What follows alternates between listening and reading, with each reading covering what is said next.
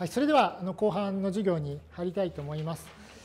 で、先ほどそのまあテイラーの定理を始めるにあたってその1変数ではどういう状況だったかっていうのを復習しました。で、これからまあ2変数の話をまあ始めるわけでして、で、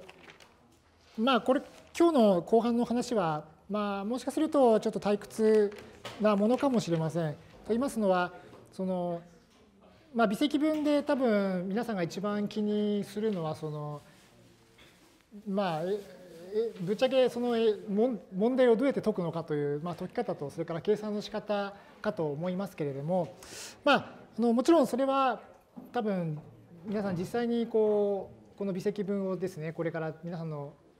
各自が各地の分野で使っていく中で大事なことだとは思うんですがただまあ時々はそのその背後にあるその解き方の背後にあるアイディアとかですねそれからその数学全体の仕組みについてもやはり少しは知ってもらった方が、えー、といいと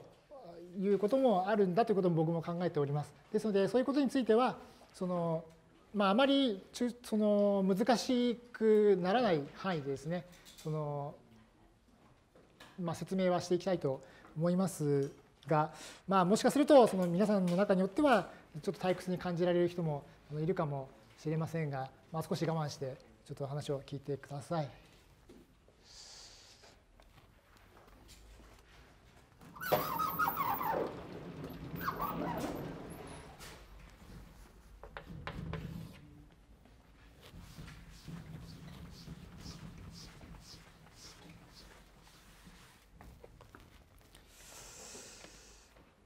で、その先ほどそのまあ、1変数関数のテイラーの定理を紹介しましたけれども、その2変数関数ではその同じようなことについて何をやったかというと、実は今までその全微分というのをやりました。ちょっと思い出してみましょう。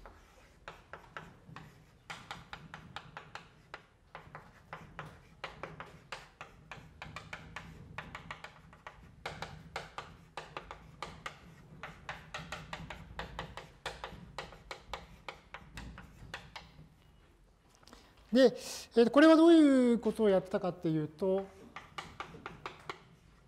この f の xy があったときに、この fxy を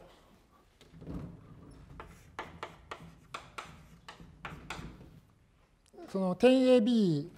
の近傍で、その x と y の一次式でその近似するということをやってました。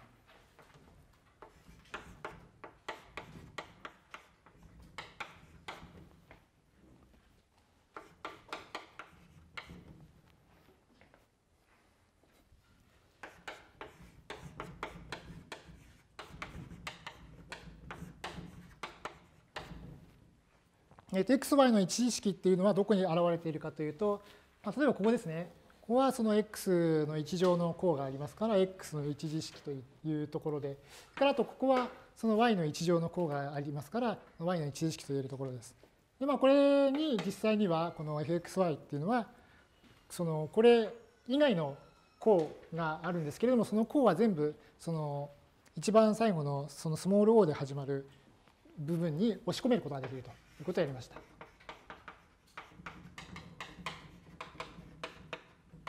まあこれはその xy がその AB に近づくと、まあ、非常に速いスピードでこう0に近づくようなあのもの式全体だと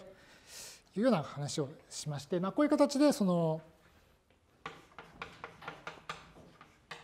まあ、fxi をその x と y の、まあ、一次式で近似したと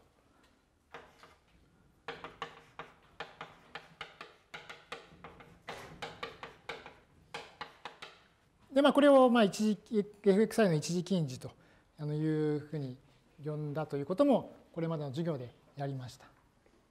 で、そのこれからそのテイラー、テイラーの定理ですね、二変数関数のテイラーの定理でやることは、えこれをその、まあ、一次式だったのをその一変数関数のテイラーの定理と同じように、そのより工事の式ですね、先ほどのテイラーの定理の一変数の場合ですと、まあ、R 字のあ N 字か N 字の式だったんですが同じようなことをこう二変数関数でもやりだやりましょうとやりましたか、やりましょうというか、できますというのが、まあ、この二変数関数のテイラーの定理の、まあ、趣旨です。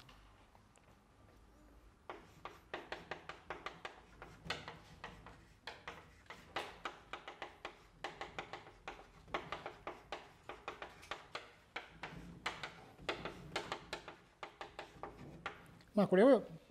えー、と一変数関数と同様に、まあ、より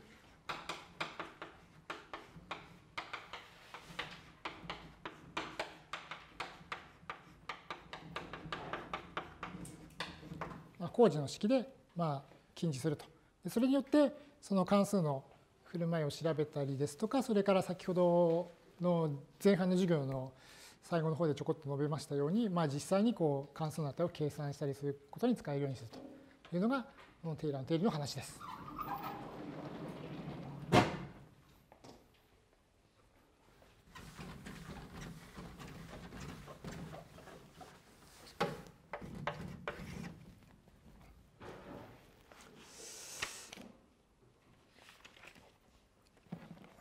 というわけで、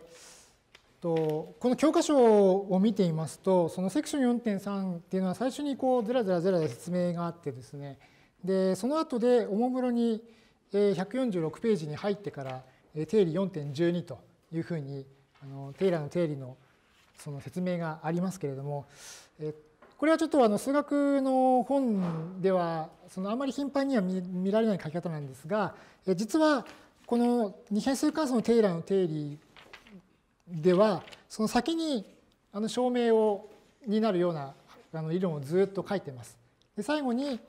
えーと、最後に次の定理が出るということで、その定理4.12が書かれていますが、とりあえず黒板では先にその定理4.12を書いておきましょう。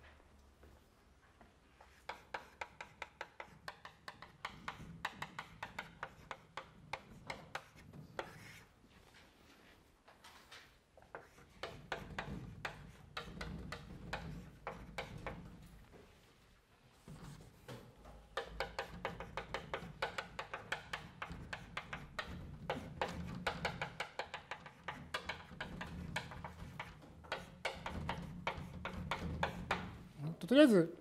えー、ここの、えー、と定理では二変数版のテイラーの定理を書いておきます。えー、とまず設定なんですけれども、えー、と m を自然数としてそれから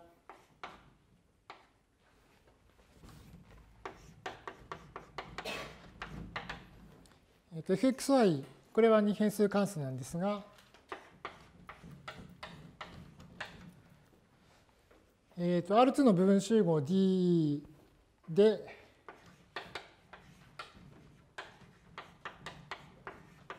C の M 級とします。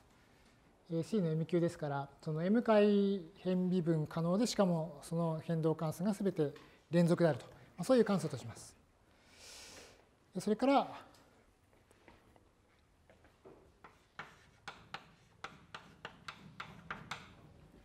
えー、と AB を D の領域 D の点としまして、えー、それからちょっと設定が長いんですけれども、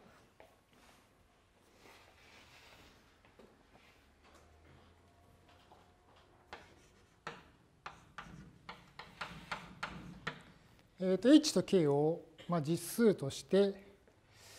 するんですが、どういう条件を満たす実数かというと、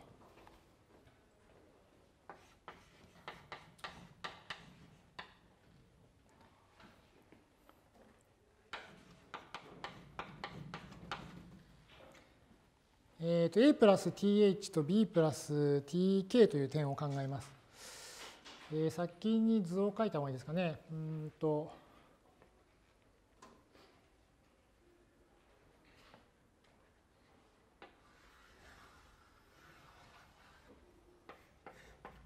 まあ、ちょっと先に図を書いて、えー、と直感的な説明しますと、まず領域 D というのが与えられていて、でそこで、とまあ、領域の D の中にある AB という点が与えられています。で、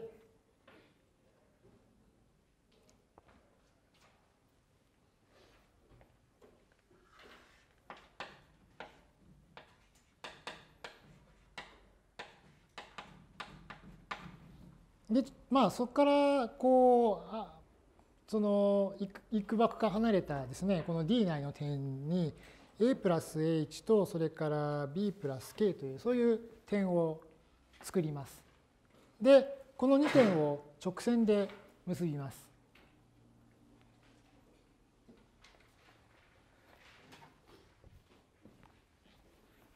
でそうしましてそのこの直線上の点をどのように表すかというとこれをまあ a プラス t 倍の h とそれから b プラスまあ t 倍の k というふうにあの表しまして、えー、でこれがその線分この線分の上を動くということですのでこの t の範囲は0以上1以下の範囲でこう動くと。これは t をだから0から1の範囲で動かすことでこの黄色い点がですねこの線分の上をこう動くと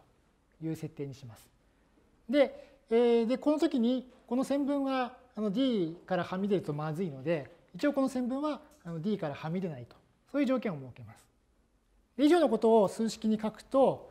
うんとまあ AB 点 AB は D 内にあってでそれからまあ H と K はあの実数でで、どういう条件を満たすかっていうと、この点ですね、a プラス th と b プラス tk は、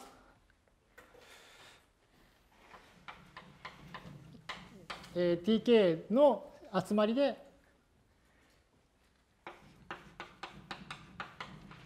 えーと、t を0から1に変えた集合。これこれは何かというと、これが実はこの線分を指します。この線分のことを意味します。いいでしょうか？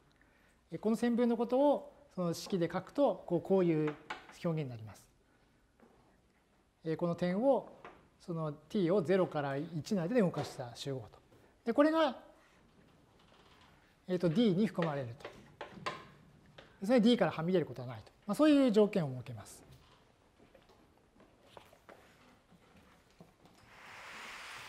ここまででしょうか。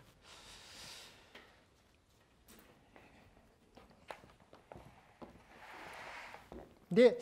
えちょっとその定理の主張を書くのにここの黒板ちょっと低いと思うのですみませんがちょっと左側の方に続けます。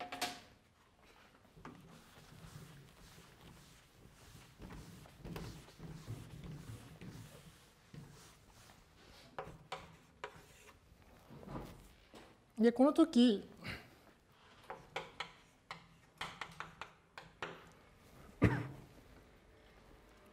せん。えー、とあるシータが存在します。えーとまあ、0より大きくて1より小さい、えー、シータが存在してで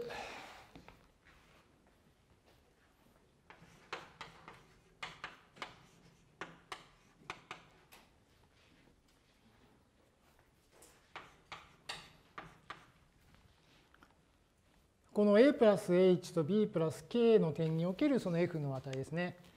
と先ほどの図で表します、図で見て考えますと、その、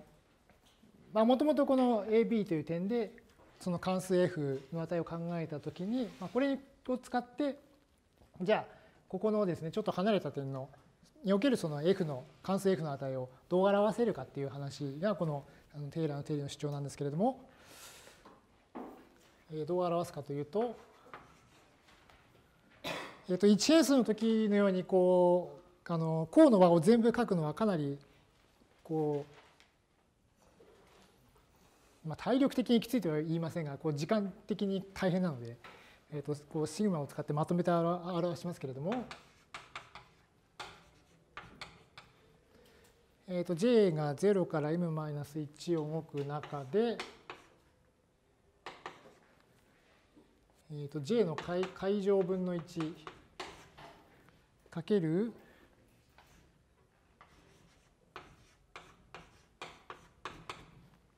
えー、と hddx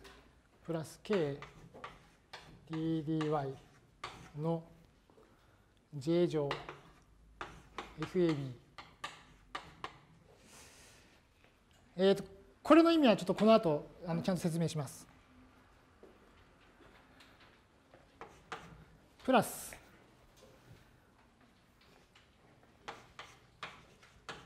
えー、と m 解乗分の1かける。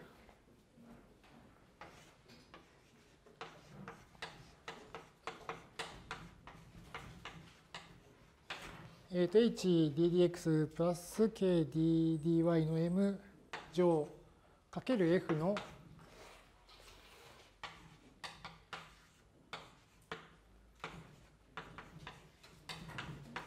えー、と a プラス θ 1と b プラス θ k ですね。これにおけるその f の値と。こういう形でその二変数関数を書くことができると。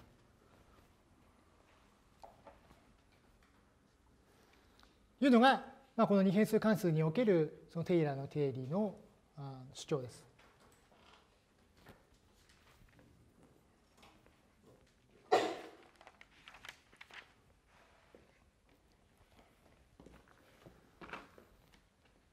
まででしょうか。さて、そこで、えっと、一応、この、ここでですね、この、あの、ddx プラスなんとか ddy の j 乗といったようなその書き方が出てきましたけれども、あのこれはあの実はとその微分差要素と呼ばれるもののあの計算、またはその表記ですね、その表記になっておりますので、まあ、これについてちょっとあの説明しておきたいと思います。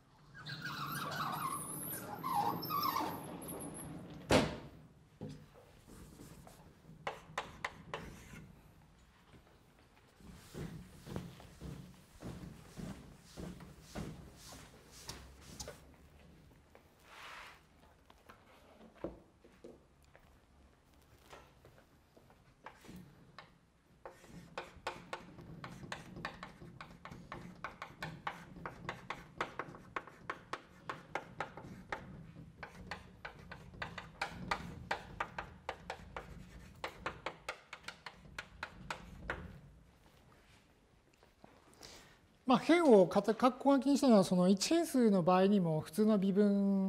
を考える場合にもその差要素という考え方がありますので、まあ、1変数の時は普通の微分だしその2変数の場合には変微分に関するその差要素という、えー、とものの扱いがありますので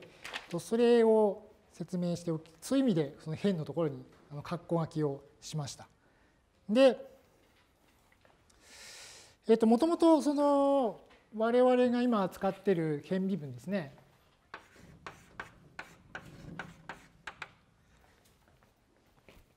あ、ごめんなさい。これ xy に書いてみましょうか。これはその fxy の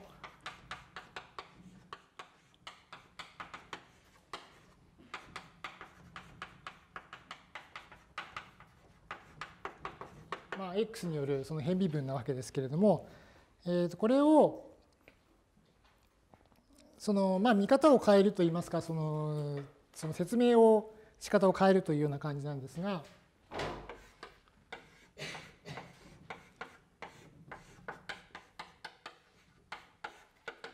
えー、とこういう書き方をします。することもあります。とこれはどういうことかというと、その fxy に対して、その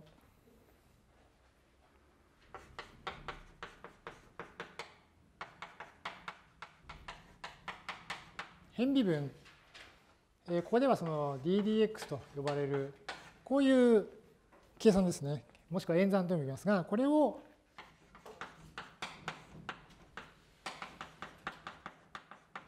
まあ一回施すと。もしくは作用させると。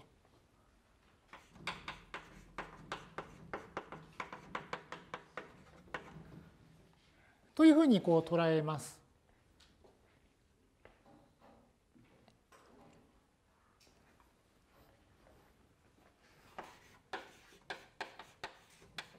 というふうに見なしまして、この ddx という記号を作用素と呼びます。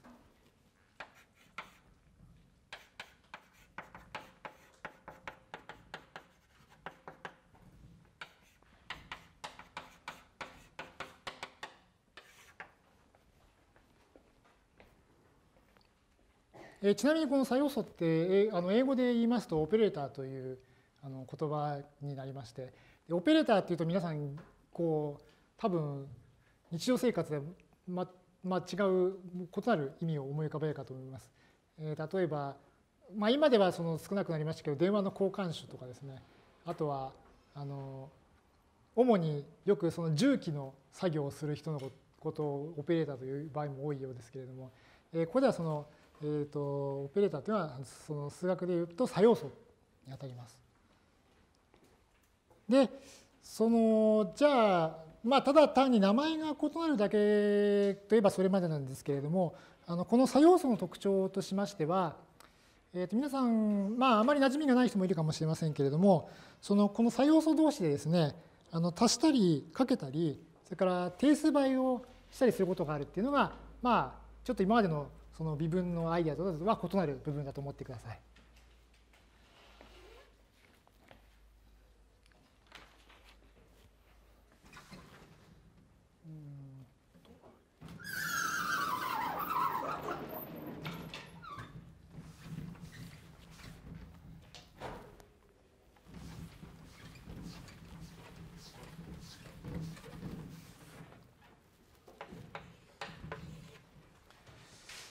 えー、ともう一度書きますとその作用素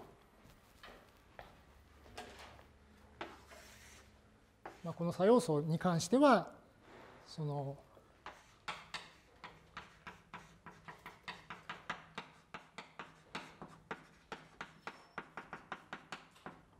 まあ、加算とか乗算とかそれから定数倍などを行うことがあります。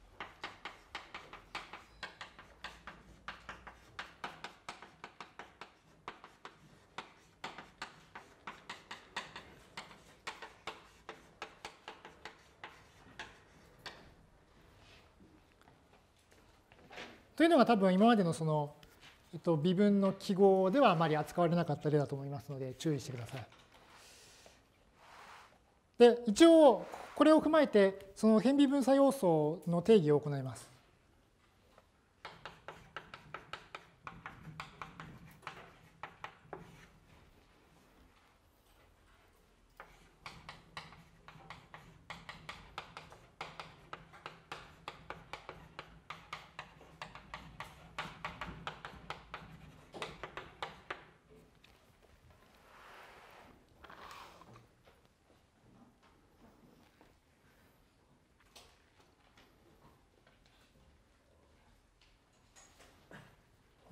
とここでは、まあ、h と k を実数としましょう。で、まず最初に、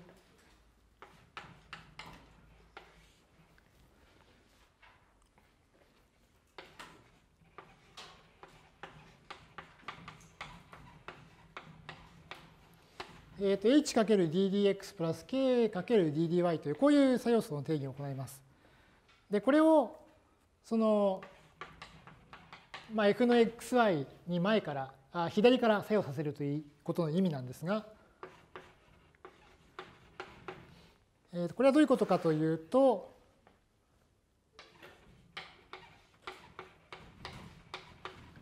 その fxy を、まあ、x で変微分したものに、を h 倍したものと、それから、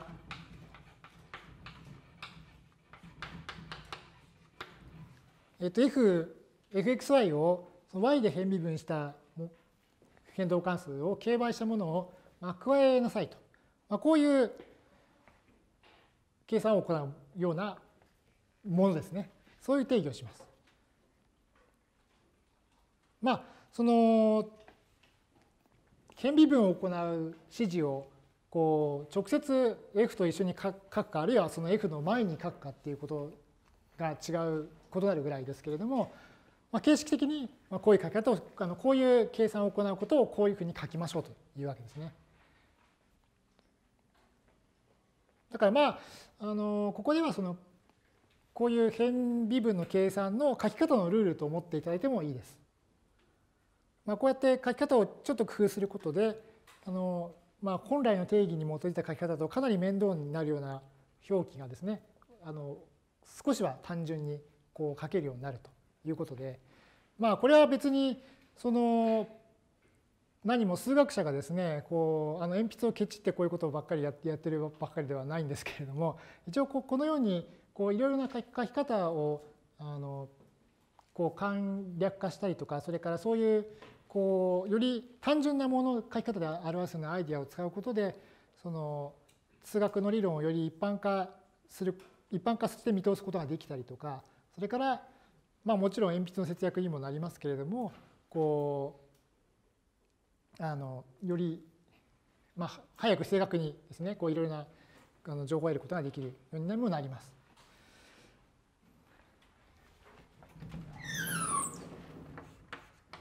で次なんですけれども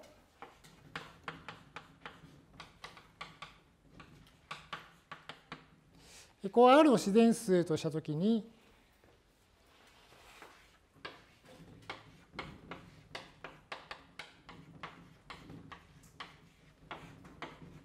えっ、ー、と h×ddx プラス k×ddy の R 乗の作用素ですね。この作用はどのように定義するかというと、これはあの再帰的な定義と言いますけれども、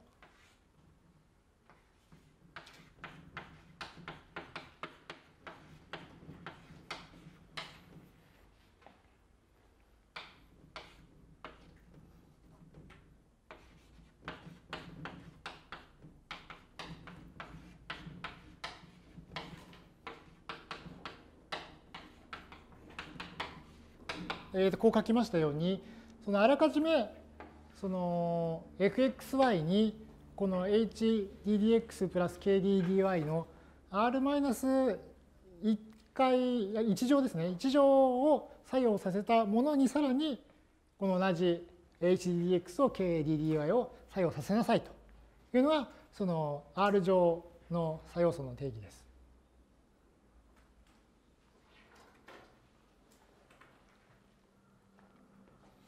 ですので、まあ、こういうのをあの再帰的な定義って言うんですが、皆さんどうですかね？ちょっとあんまりピンとこない人っていますか？うん、うん。いいれば遠慮しないです。はい、わかりました。OK です。えっ、ー、と、えー、そうですね。例えばですけれども、あのよくその会場の定義を、あの会場って自然数の会場の定義ですね。自然数の会場の定義っていうのをあのやることがあるんですけれどもあのその際にそのどういうふうに定義するかっていうとちょっと欄が少ないんで、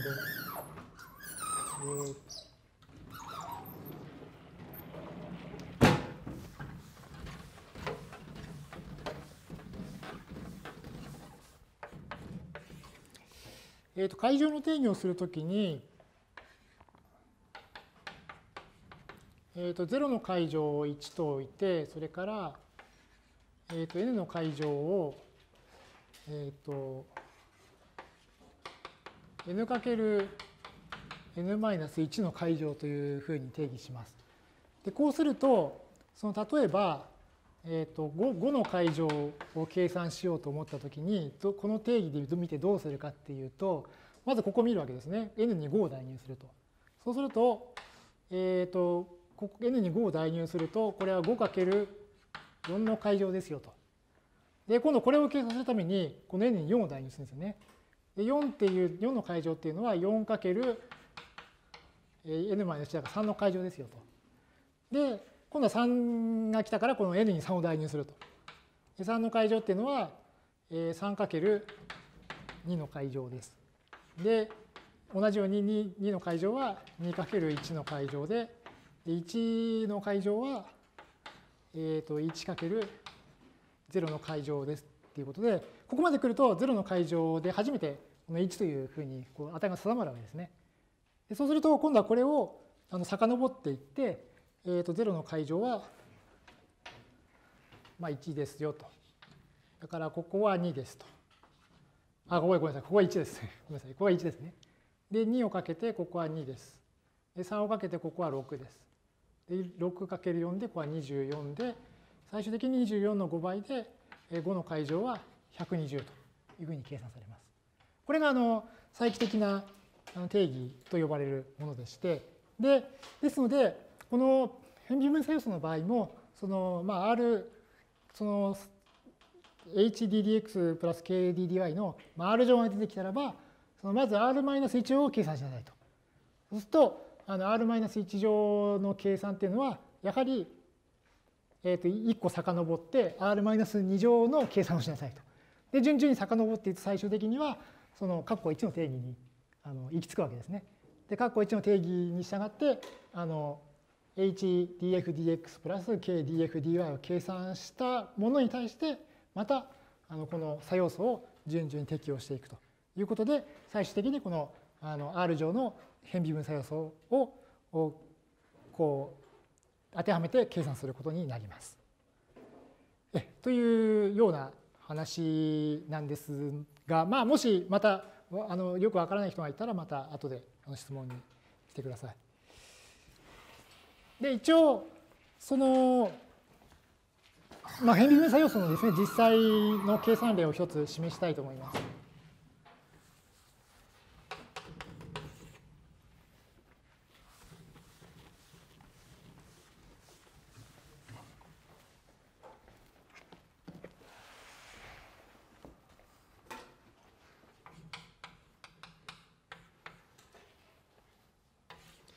まあ、例としまして、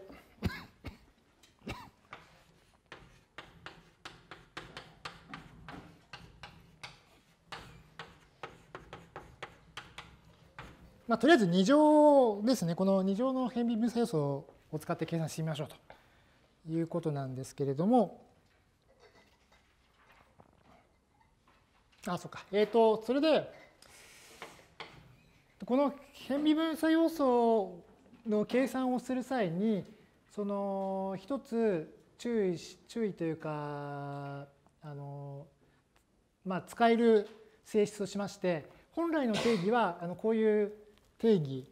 ですね。このあの R 乗の変微分差要素をやろうあの計算しようと思ったら R-1 乗の変微分差要素まで計算するということになったんですがと実際にはあの実はここのですね変微分差要素の中の中の差要素ですとかそれから、えー、と変数をですねあの多項式と同じようにこう展開してこう計算しても良いというのがこの変微分差要素で書いてるに非常に便利なところです。ですのであの本来ですとあのこの計算っていうのは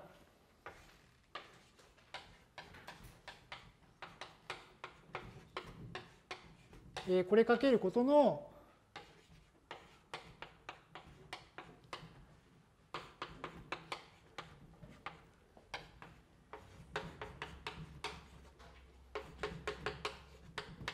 こうですね、こういうことをやる必要があったわけなんですけれども、あの実際には、あのここを先に展開しても良いという性質があります。ですね、この場合ですと、あのこの h とかですね、それから ddx っていうのを多項式の変数と同じようなものだと思って、例えば ddx の2乗っていうのをあのこう書くんですけれども、えー、と h の2乗をえー、とこの例えばその ddx っていうその変微分差要素の2乗はこの、えー、と例えば x に関するその、えー、と2回あ 2, 二次同関数の変微分差要素になるというふうにこう計算します。でそれから、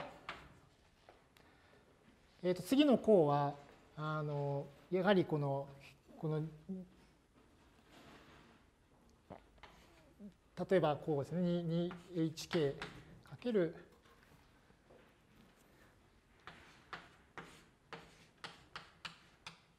でここのその変微分差要素本来は ddx と ddy の積なんですけれどもこの差要素この変微分のあの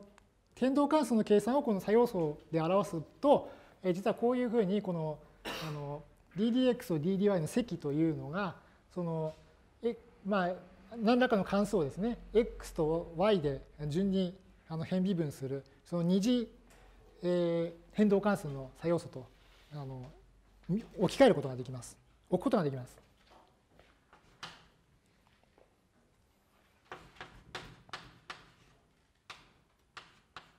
で最後の項も同じようにこれあの kddy の作用素の2乗としてあの k2 乗かけるその y に関する二次変動関数の作用素というふうに置くことができます。一応あのこの例で見てもらったようにその作用素の計算に関してもう一度強調しておきたいのは本来の定義はああいう再帰的な定義だったんですけれども実際の計算はこの作用素に出てくる h とか k とかですね ddx なんていうのをその多項式のに出てくる x とか y などと同じようにこうあのかけたりあるいはべき乗したりすることが可能になるということです。そういう計算で置き換えてもいいってことですね。そこを注意しておいてください。で、えー、こうやって計算しますと、であとはそのそれぞれの作用素今度はこの作用素をそれぞれこの F に適用させますので最初のところはえっ、と xy、fxy をですね、その x に関してまああの2回、えー、変微分すると。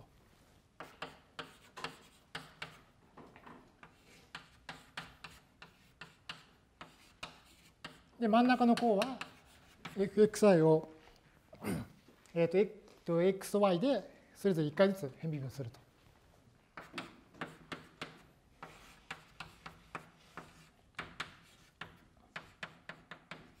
で、最後の項は、その fxi を y で2回変微分すると。まあ、そういう計算で表すことができますということです。ですので、最終的には、あのこういうその変 f の変微分の計算を、まあ、こういう形でこう表すことができますというのが、まあ、この今回使っているその変微分作用素による表記ですね。そこを注意してください。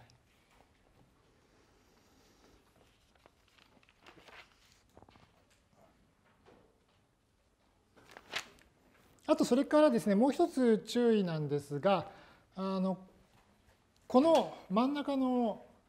変動関数なんですけれども、あの本来は、その、この変 x と y の2つの変数でこう1回ずつ変微分する場合の同関数っていうのは先ほどの前半の時間でやりましたようにその x あの変微分する順序によってその一般的にはその異なるあの等しいとは限らないという話をしました。でただし今そのテイラーの定理で考えている限りではそのテイラーの定理の仮定を用いますとあのこのあの変微分っていうのは等しいことが保証されますので一つにまとめることができます。でテイラーの定理の時にはここのここの部分っていうのは一つのあの例えば dx、dy でもいいし、あるいは dy、dx でもいいし、まあ、どちらかの変微分でまとめて表すことができますので、そこも注意してください。で、これはそのテイラーの定理の時にはこういうことができるんだけれども、まあ、いつでもできるというわけでは限らないということにも注意してください。はい、で、えっ、ー、と、そんなところで、えっ、と、一応、このテイラーの定理とですね、それからそのテイラーの定理で使われているその変微分作用素の表し方について、え説明しました。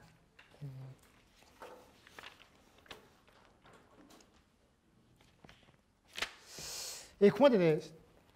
質問ありますでしょうか？はい、それでは。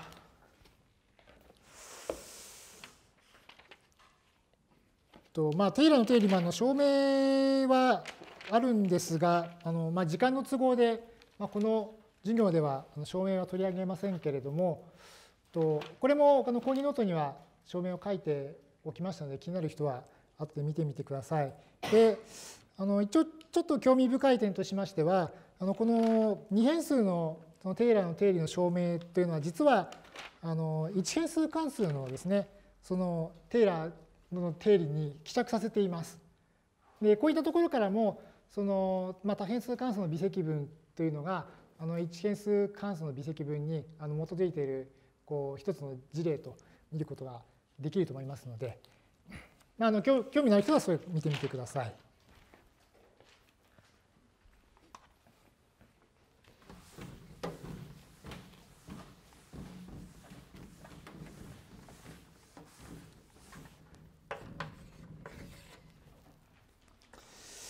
で、と今日そうですね、あとあのテイラーの定理に関しては、あのもう一つその例題をあのやっておこうと思うんですけれども、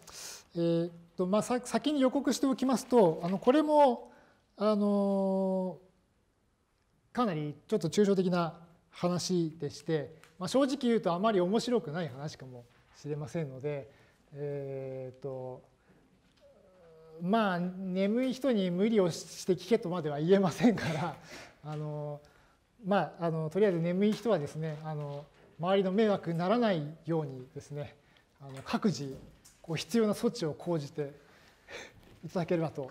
思います。一応あのまあでどういう話をするかというとその教科書146ページの例の4.4という話なんですね。でここではその2つのあの話題を扱っていましてで一つはそのあの平均値の定理という定理がありました1変数の時にもその平均値の定理というのもまあ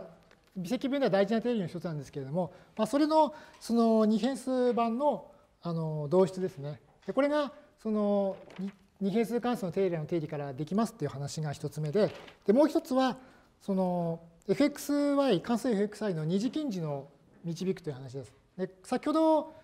はその全微分を使うことによってその fxy っていう関数をあの一次 xy の一次関数で近似するって話をしましたけれども、えー、例えばそれをもっとより精密に近似をしたいというときに例えば二次関数でどう近似できるかっていうのは、えー、これはあのテイラーの定理からあの導くことができますと、まあ、そういう話をします。ですので一応今申し上げた通り、まあ、非常にあの抽象的なまあ、理論的な話ですので、とまあ、ちょっと興味のある人は聞いてください。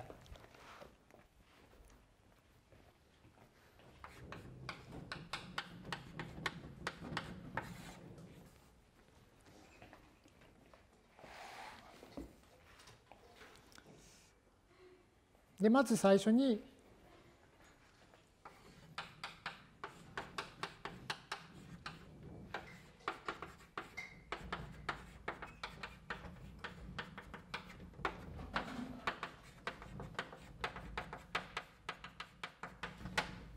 この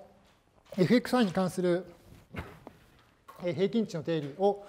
そのテイラーの定理からまあ導きましょうという話なんですけれども、これはのテイラーの定理で m が1の場合を使うと出てきます。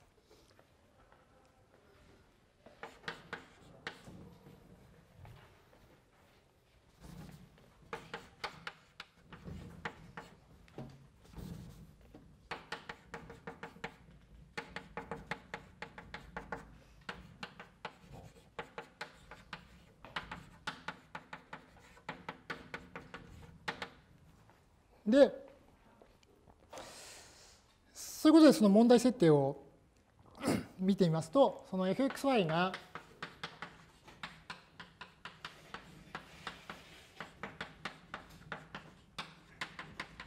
C 地球の時ですね、すなわち1回変微分可能で連続であるという場合を考えます。でそうしますと、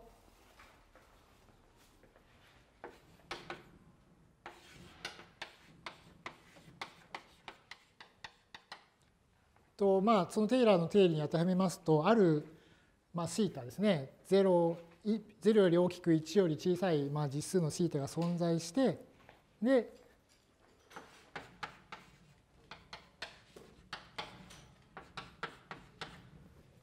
その f の a プラス h と b プラス k の関数の値っていうのが、その AB における f の値プラスまあ、h 倍の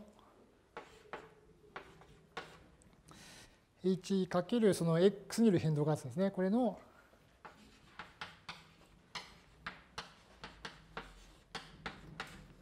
えー、と場所はその a プラス θ1 と b プラス θk における値。それからもう一つは k 倍のその f の y による変動関数の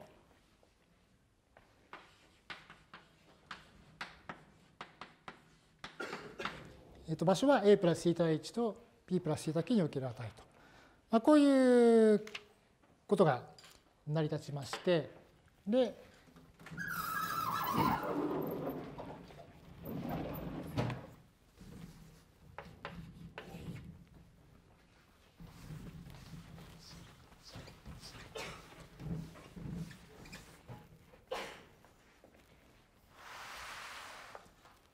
でこれがそのこの式の意味としては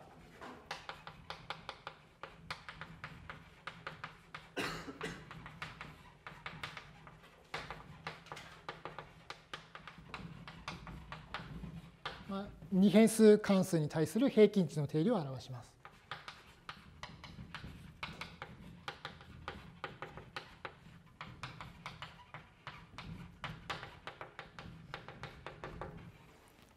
で、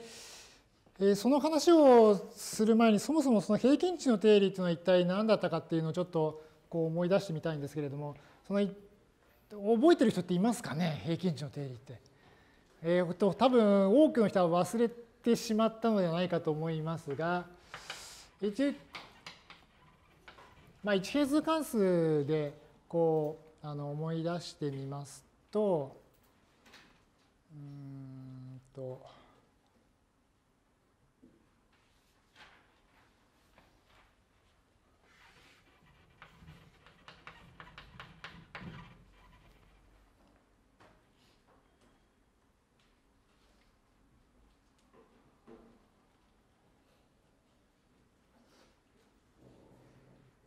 まあ、例えば y イコール fx っていうその関数があったとしてで、まあ、区間、まあ、AB を取りましょう。でそこで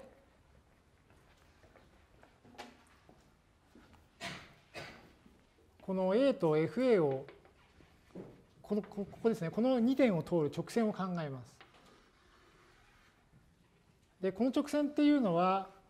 そのまあいわばこの A と B においてこの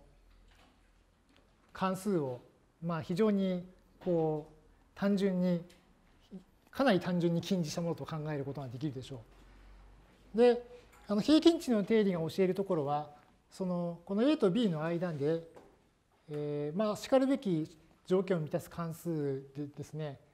このあの同関数の値ですねこの関数の傾きがこの黄色い直線と等しくなる地点が必ず存在するというのがあのこの一変数関数の、えー、時のその平均値の定理でした。でまあこういうある、まあ、C という点が存在してこの F'(C) ですねこの傾きがこの黄色い直線に等しくなるという話でした。で、えー、と二変数関数の場合はどういうことになっているかといいますと、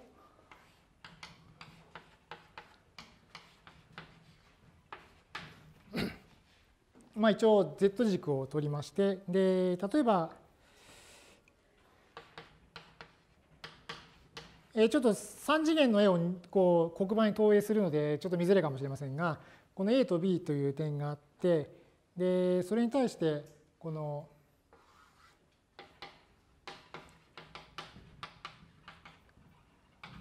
まあ、A プラス H と B プラス K という点があったとします。で、この時に、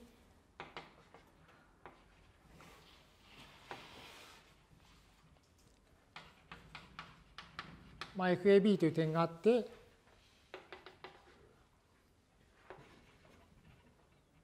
まあ、F の A プラス H と B プラス K があったとしましょう。で、でそうしますと、その、この間でですね、その、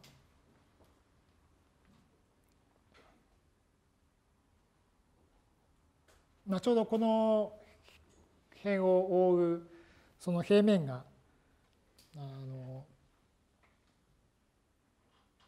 書けるんですけれども、えー、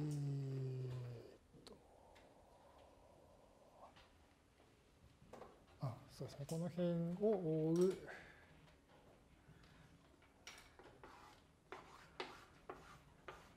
まあ、この2点を通るあの平面があるんですが、まあ、その中で、えー、ちょうどそのこの A AB とそれからこの間の地点でですねあのちょうどこの2点を結ぶ平面とこう傾きが等しくなるようなあのそういう接平面がこの fxy の接平面が存在するというのが、まあ、この二変数関数の場合の平均値の定理です。ので、まあ、ちょっとあのなかなかイメージしづらいかもしれませんけれども、まあ、確認してみてください。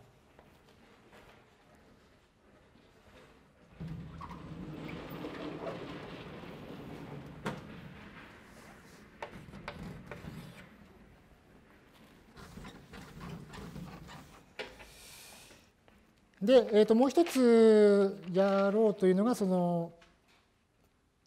fxi の二次近似ですね。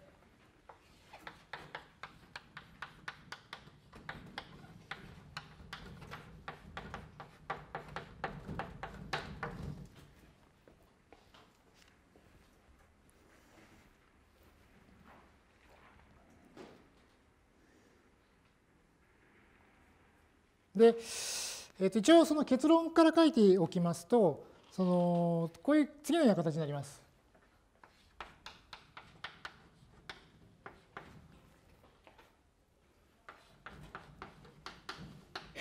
まずあの fxi の点 AP におけるその点点 AB ですね。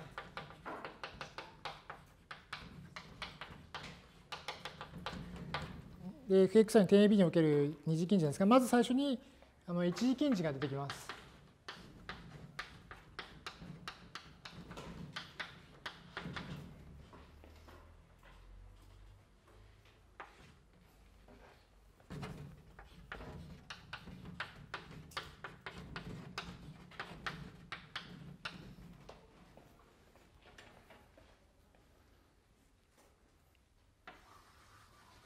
ここまでがその fxi の点 AB における一次近似です。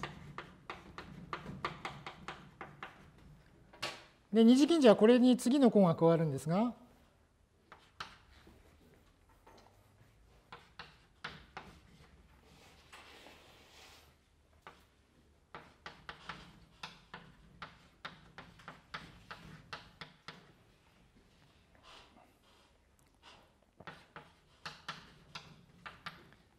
この式の形を書きながら見ていくと少しこうなんか見覚えのあるような形が出てくるかもしれません。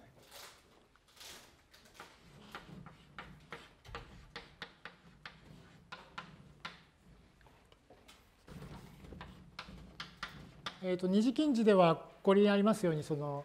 あの 2, 2次の同関数の値がこう出てきます。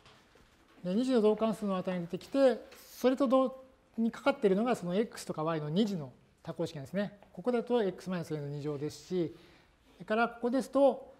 えー、と同関数としては x と y の両方の変数による変微分が出てきて、で、あとその x と y の、あ、ごめんなさい、これ y ですね。のあの多項式の和が出てきます。あの積が出てきます。で、最後は、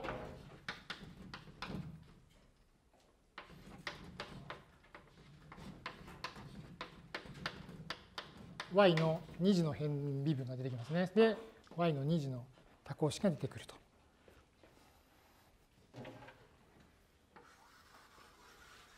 で、えー、と一次近似が、まあ、ここの部分ならば、これを含む、この部分が二次近似になって、であとはそれ以外のこうより小さい項ですね。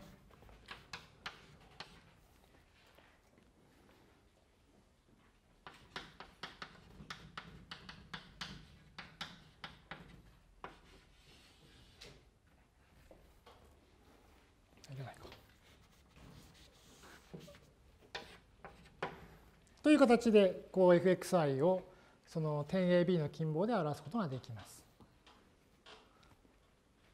まず結論がこうですね。で、目標としましては、えこの2行目の部分を導きましょうと、そういう話です。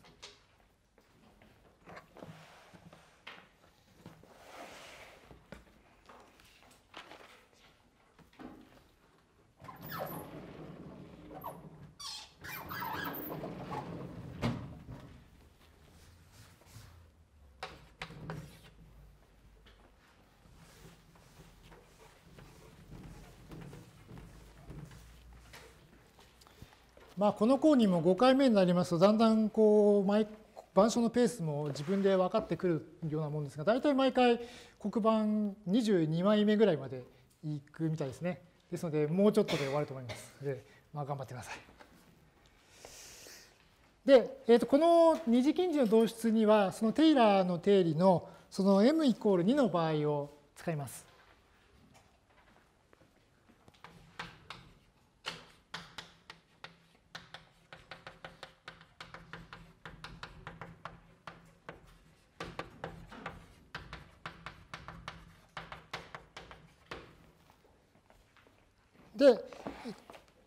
前目にイコール2の場合の定理をもう一度書いてみますと、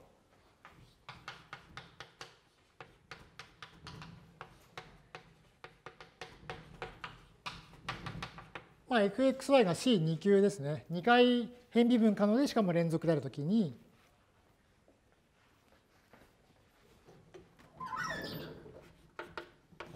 やはりこの θ が存在しまして、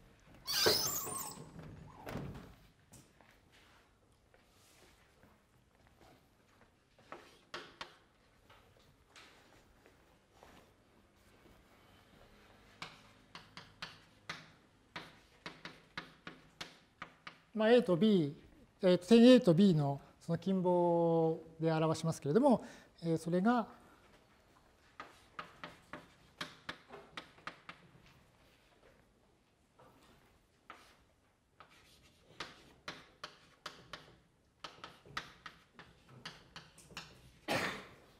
先ほど説明しましたその変微分差要素を用いて表しますと、まず1回の、えー、と一時の変微分、変動関数はこのように表すことができて、で、えー、と2次に関しては、最初に2の階乗分の1という定数が来て、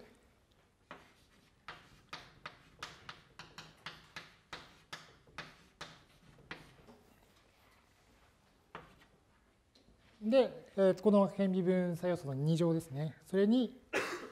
f の a プラス θ1 と f の a プラス θ1 と b プラス θk の値が来ると。まあ、こういう形になります。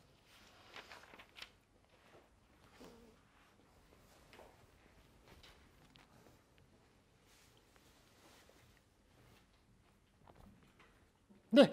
まあ、あの、あとやることとしましては、あの、このテイラーの定理から出てくるこの式をうまく あの展開して、えこちらのあの 20, 20枚目の黒板にあるこのあの式が導出できれば、えー、今日はめでたく終了ということになるわけです。で、えここまでいいでしょうか。でまず、そういうことなんで、このあの変微分差要素をあの定義に従って展開するところからあの計算していきます。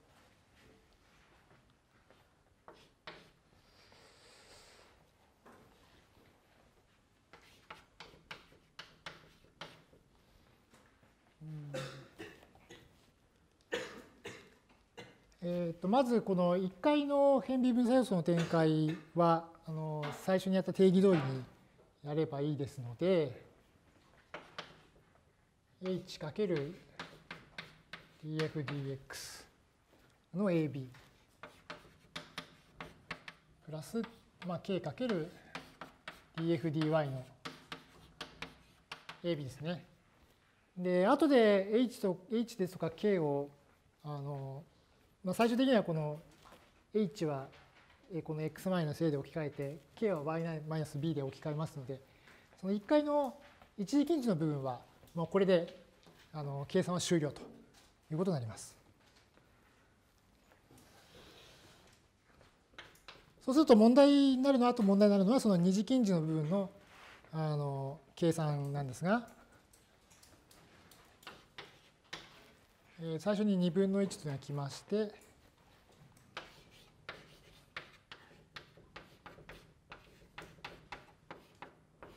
で、えー、これ、あの先ほど説明しましたように、ここの hdx プラス kddy の2乗をその多項式のように展開しても構わないという話をしてましたので、こんなふうに展開します。うんとここで、まあ、a プラス θ1 と b プラス θk ですね。で、2倍の hk かける d2 乗 f の dxdy。いいのか。あ、すみません。ちょっと、ここ F が1個多かったですね。消します。A プラス θ1 かける B プラス θk。で、最後に、k2 乗かける d2 乗 f の dy2 乗。a プラス θh a プラス b, b かください b プラス θk と、まあ、こうなりましてで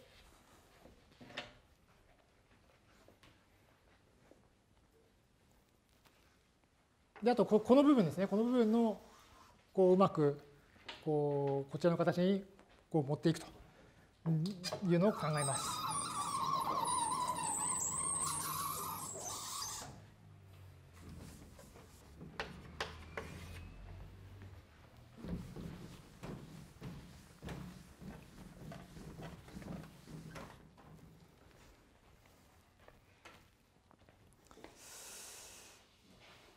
で、えー、と一応ですね、ここでその気をつけなければならないのは、その、えー、ここの、今黄色い線で引っ張ったこの項なんですけれども、その x と y に書いている変数にですね、この θh っていうのはとか θk っていうのが入ってるんですね。で、ところがその結論では、これ、あの A、ここが A と B だけになっていて、ですので、どうするかっていうと、この θh とか θk の部分を あのこのあのより小さくなるっていう関数の部分に押し込めなければなりません。まあ、それをどうやってやるかっていうのをちょっとあの説明したいと思います。で、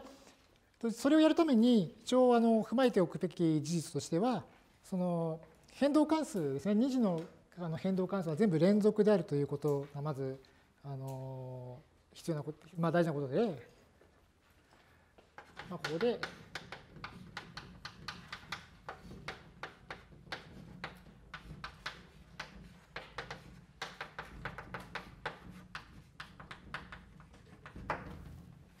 えー、と今あの仮定からですね fx は C2 級と言っていますので 2, 2次の変動関数は全部連続であるという事実を使います。それから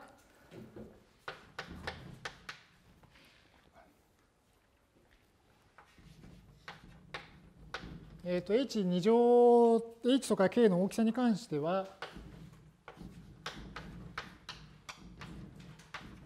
えー、と h2 乗とそれから hk の積の絶対値とかそれから k の2乗というのは、えー、この h2 乗プラス k2 乗で抑えられると上から抑えられるという事実も使います。でこれを使いましてこの21番目の黒板の黄色い線でかあのアンダーライン引いたこの3つの項を1つずつ見ていくんですけれどもまず最初の項ですね。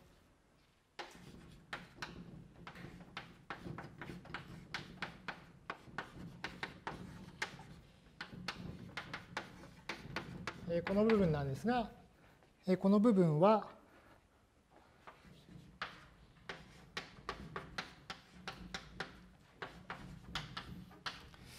えー、とまず h2 乗 ×d2 乗 f dx2 乗のこの ab における値プラス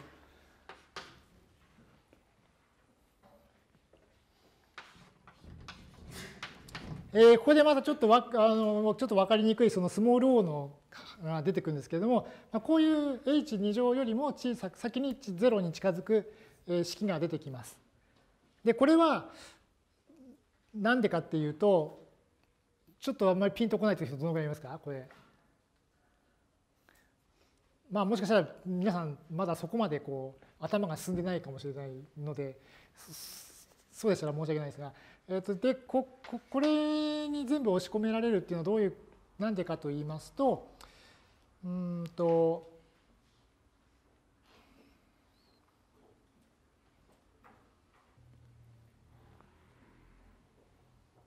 すみません、ちょっと今、あの申し訳ないですけど、うまく説明できないので、また宿題にさせてください。ちょっと先に結論を書いてしまいます。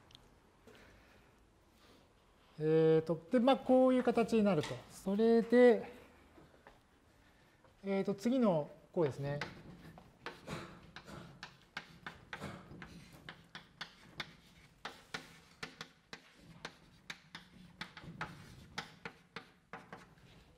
で、まあ、これに関しては、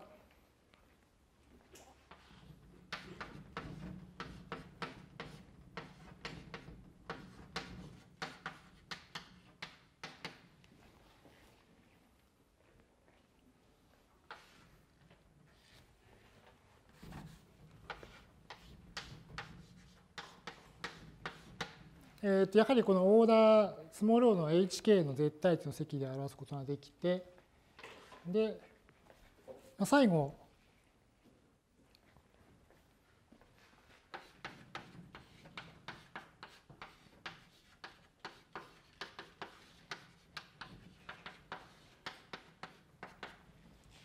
は、えー、これも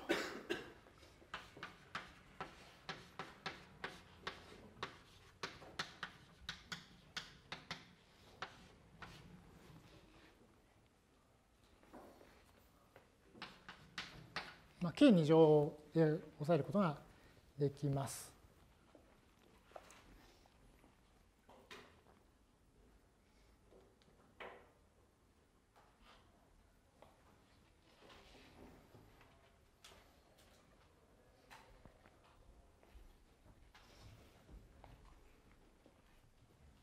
で、えーと、このここのさあの3つの項ですね、この部分はいずれも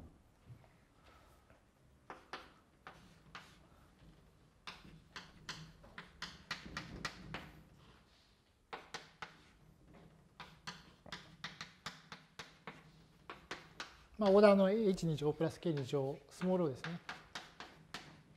で、あの上抑えることができますので、で、これで、あとは、その、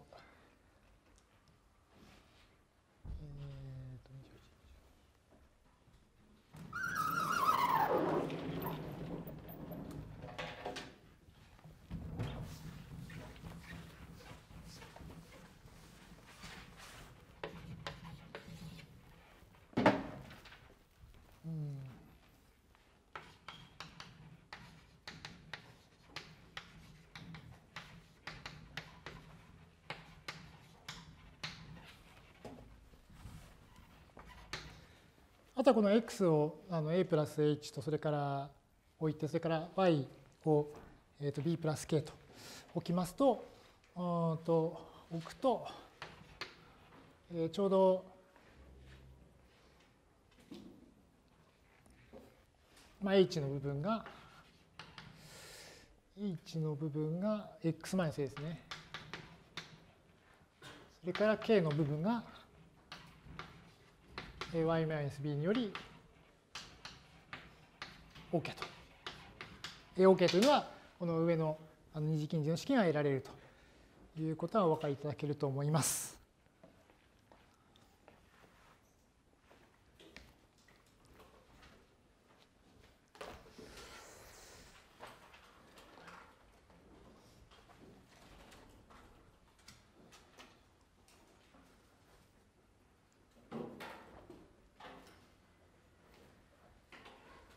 えー、ここまでいいでしょうか？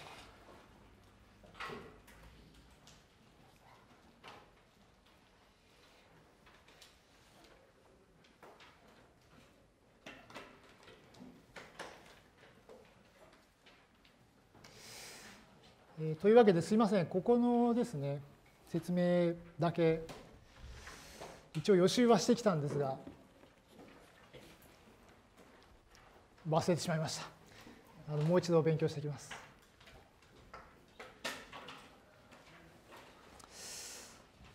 えー、という形でこうあの、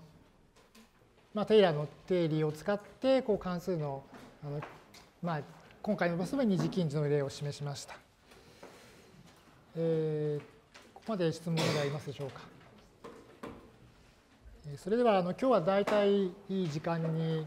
なってきましたのでこの辺にしたいと思いますがで次回は再来週ですねとこの続きのあの関数の極値の計算に入りたいと思います。